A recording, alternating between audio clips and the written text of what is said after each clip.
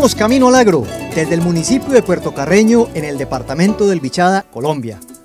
Estaremos llevando para ustedes el Festival Internacional La Palometa de Oro, una muestra de la expresión cultural musical de esta apartada región de Colombia. Así que acompáñenos.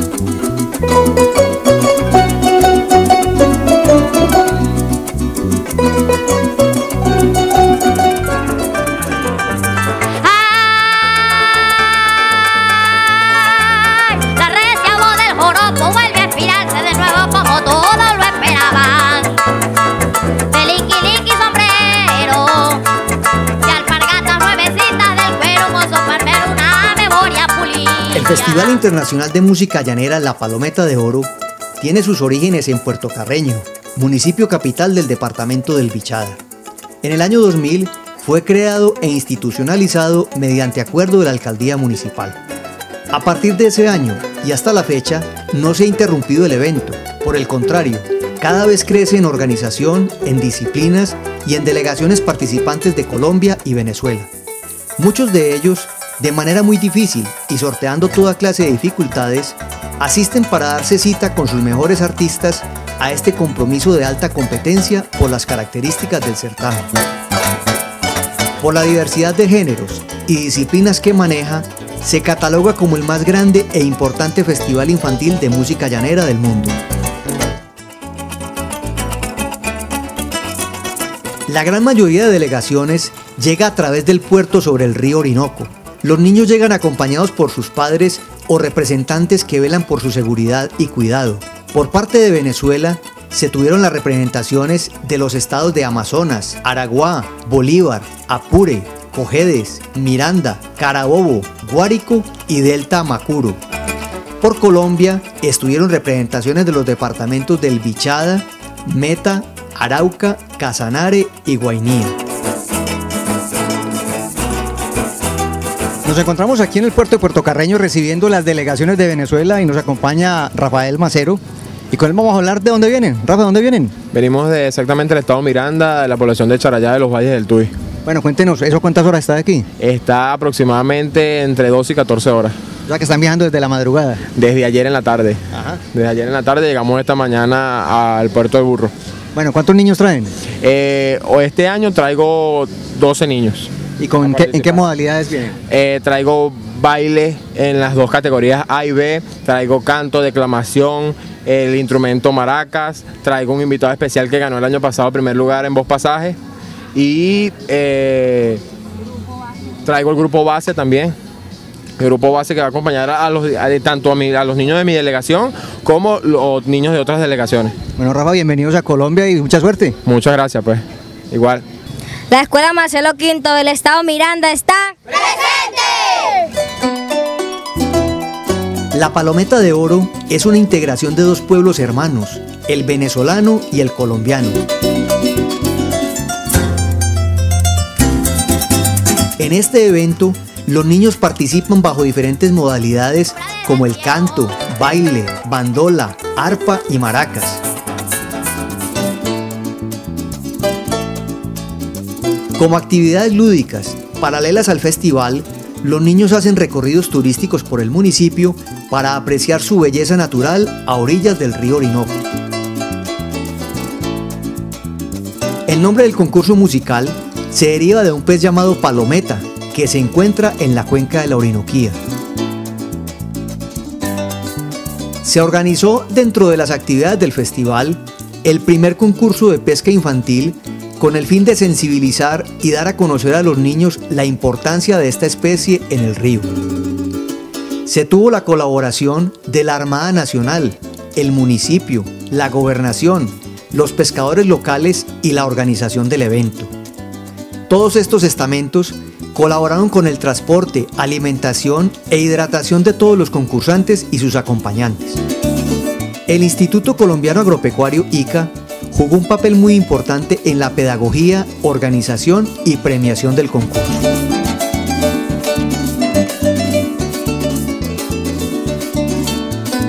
Me acompaña el ingeniero pesquero Edwin Lacera de ICA, con quien vamos a hablar del tema del concurso de la palometa de oro. Bueno, ingeniero, cuéntenos, ¿de dónde nace esta propuesta del concurso de pesca?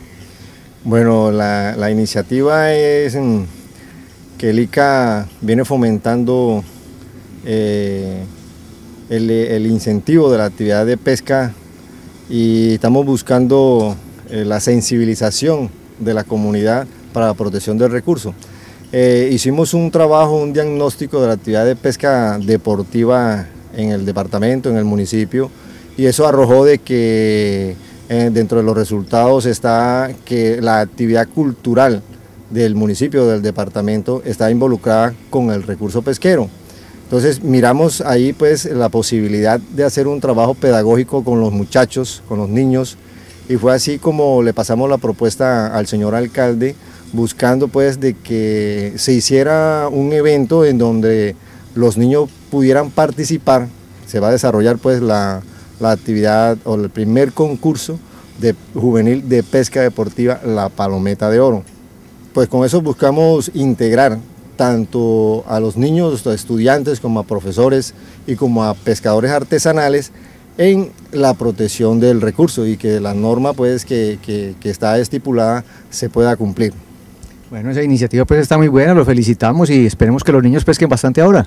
Sí, pues la idea es que pues ustedes nos acompañen y miremos a ver eh, que los niños salgan con sus papás, con algunos profesores y con los pescadores artesanales a la actividad que vamos a realizar aquí en la desembocadura del río Vita. Ojalá pues que a los muchachos les vaya bien con esa actividad. Lo importante del Festival de la Palometa de Oro es que es la socialización de resultados de procesos de formación musical en los cuales yo me encuentro involucrado a través de la División de Música del Ministerio de Cultura. Yo hago parte del equipo formador a docentes de la Orinoquia colombiana y me encuentro con gran sorpresa del semillero que hay en este municipio, un poco distante de la capital de la República y de las otras capitales del departamento del llano. Eh, encuentro que hay gran semillero, por ejemplo, de bandolistas. Es la primera vez que encuentro una gran afluencia y presencia de niños bandolistas. No es muy fácil encontrar en municipios del llano esa generación de tantos alumnos de bandola.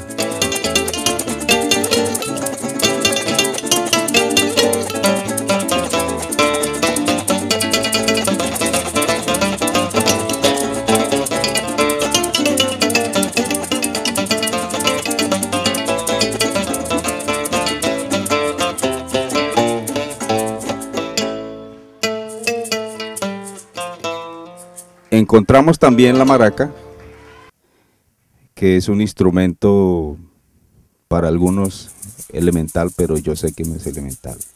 Por más sencillo que lo veamos, eh, digamos que alguna gente dirá, no, esto no es complicado aprender o tocar. Pero llegar a dominar un instrumento, la idea es que el instrumento no lo domine a uno, uno llegar a dominar el instrumento.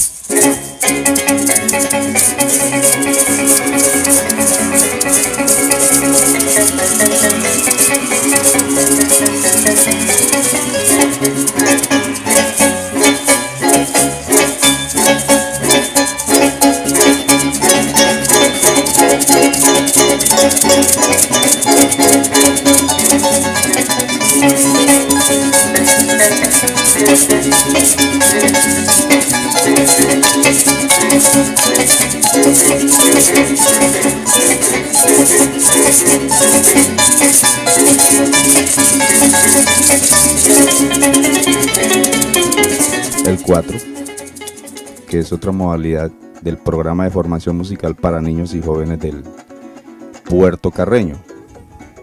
Es un programa que aquí estuvimos hace dos años tratando de implementar una metodología que nació al interior del Ministerio de Cultura, con miras a que las músicas tradicionales se conviertan en un eje de tal manera que se facilite la transmisión de saberes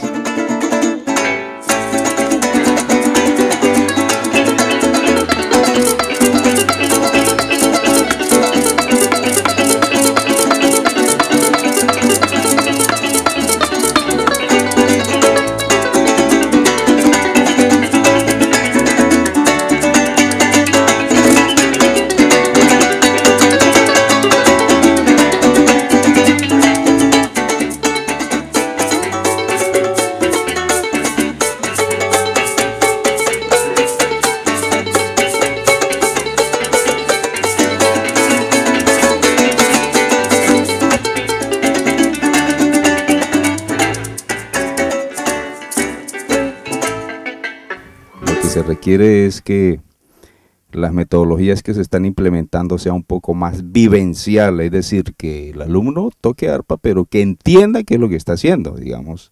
Así no sepa, no salga un lector de partituras, pero que sí entienda un poco qué es lo que pasa con el fenómeno del sonido. Es decir, eh, al interior del joropo serían qué pasa cuando está tocando por corrido, qué pasa cuando está tocando por derecho o qué pasa cuando está tocando por chipol. Digamos que es como conocer un poco el fenómeno más al interior.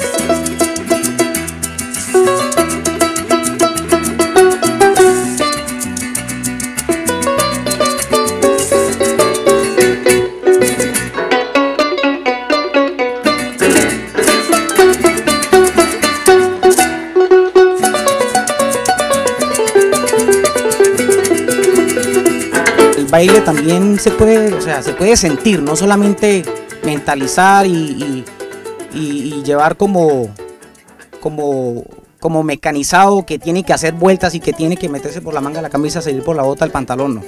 Sí, o sea, hay que tratar de enseñarles que, que atrás hubo algo que, que también fue muy mejor en su época y que no podemos dejar olvidar porque son nuestras raíces.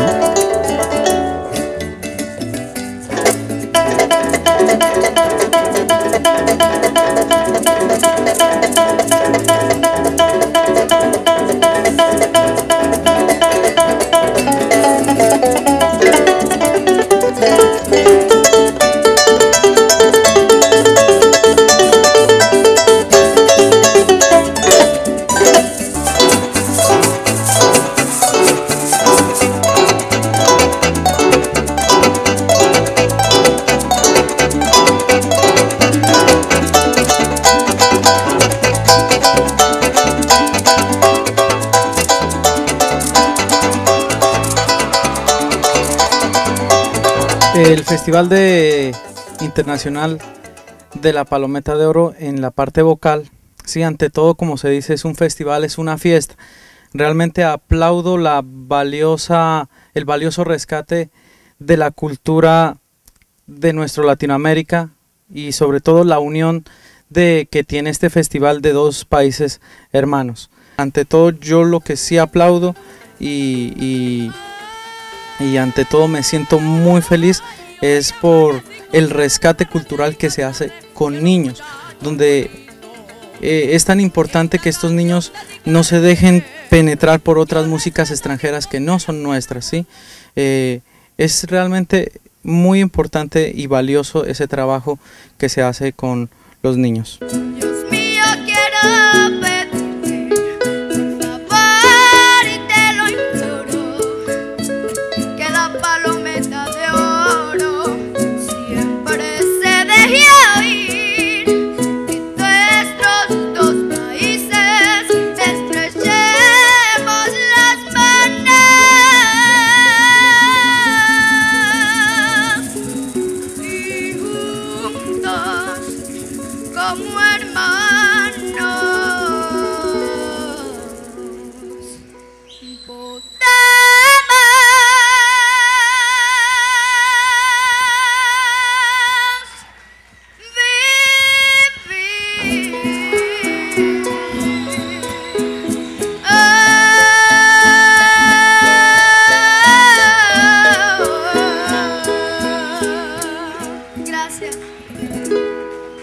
Haciendo como una, un resumen de lo que fue este Festival de la Palometa de Oro, creo que permite lo que algunos llaman la cohesión y la generación del tejido social.